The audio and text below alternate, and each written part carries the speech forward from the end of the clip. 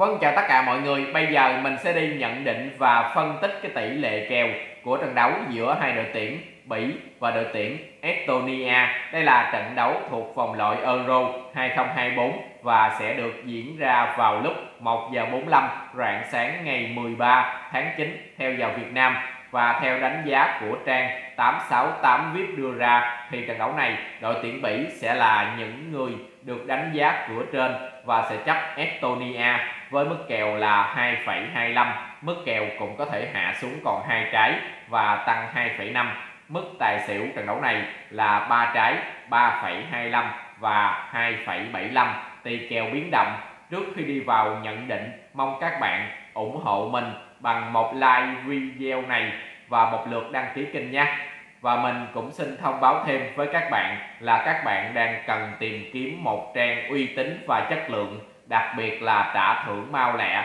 để các bạn có thể là chơi giải trí những môn thể thao, thì các bạn nên đến với 868 VIP nha. Đến đây, các bạn sẽ được tặng ngay 100% ở lần nạp đầu tiên và ngoài ra thì sẽ được hoàn trả đến 1.25% chi tiết của trang thì mình có để ở bên dưới phần mô tả của video này. Các bạn cứ việc xuống dưới phần mô tả để cập nhật thêm nha. Đặc biệt là cái trang này, nó có giao diện cũng rất là dễ sử dụng. Và bây giờ mình sẽ quay trở lại với cái phần nhận định bóng đá của trận đấu này nha. Năm lần đối đầu gần nhất của tuyển Bỉ và Estonia thì tuyển Bỉ bất bại trước Estonia với 5 trận thắng liên tiếp. 5 trận thi đấu gần nhất của tuyển Bỉ thì uh, tuyển Bỉ đang bất bại với 4 trận thắng và một trận hòa. 5 trận thi đấu gần nhất của Estonia thì Estonia họ không thắng được một trận nào cả. Qua đó họ chỉ hòa được một trận và để thua 4 trận. Và ở lần đối đầu này với mức kèo thế này thì theo nhận định của mình thì lần này mình sẽ đặt niềm tin vào đội tuyển Bỉ nhé. Tuy nhiên thì sẽ lựa cái mức kèo phụ cho nó an toàn hơn. Đó là tuyển Bỉ, chấp, hai trái thôi. Vì sao? Thứ nhất, nếu mà xét về thực lực, đẳng cấp và chiều sâu đội hình ở thời điểm hiện tại so với Estonia thì mình thấy là tuyển Bỉ đang được đánh giá là nhỉnh hơn Estonia về mọi mặt. Thứ hai nếu trận đấu này tuyển Bỉ có được điểm tựa trên sân nhà.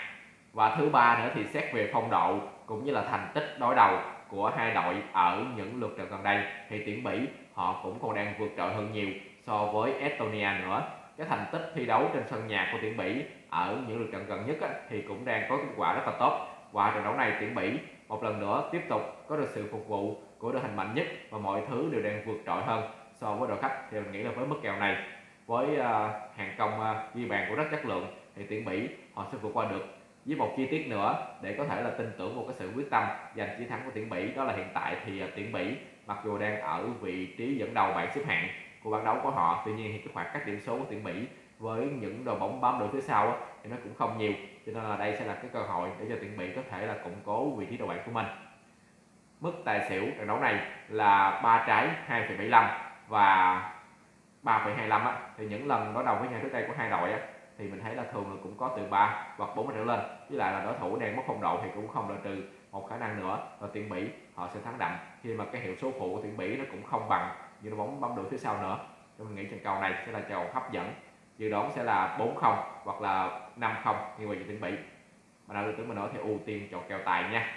Ở mức hiệp 1 thì mức kèo chắc là một trái và tài sẽ là 1,25 vì đó hiệp 1 với đến đội sân nhà và mọi thứ đều đang quá là vượt trội hơn thì tuyển Bị họ sẽ có hai hoặc ba bàn dẫn trước. Thì một các bạn chọn tuyển Bị chấp nha và canh tài hạ một chút thì vào. Hoặc đá hiệp 1 tuyển Bị không cũng được tóm lại nói một chút kèo là chọn tuyển Bỉ và tài ở hiệp một cũng vậy. Chúc anh may mắn nha.